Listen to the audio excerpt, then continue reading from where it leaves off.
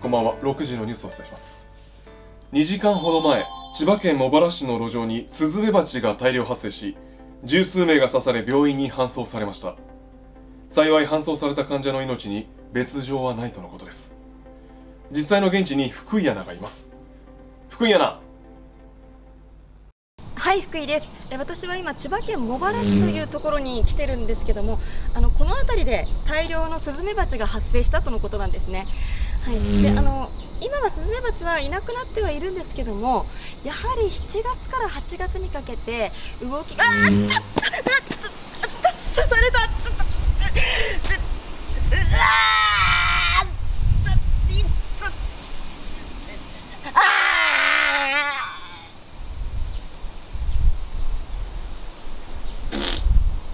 えっとええっとすみませんえ福井アナ大丈夫ですか刺さ。らちょっと待ってください。へこきました。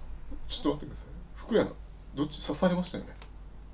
ちょえっと混乱してるんですけど。えっとすみません。えー、でももう一度つなげてみたいと思います。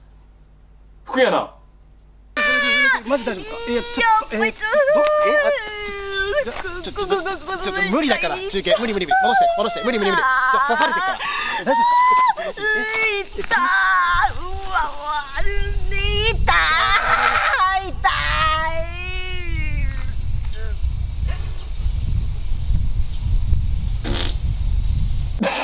ちょっと待ってくださ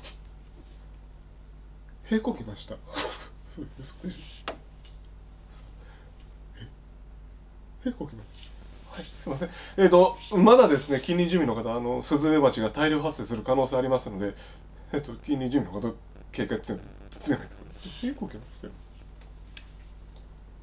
そうだあの状況ですすいません。以上。ニュースをお伝え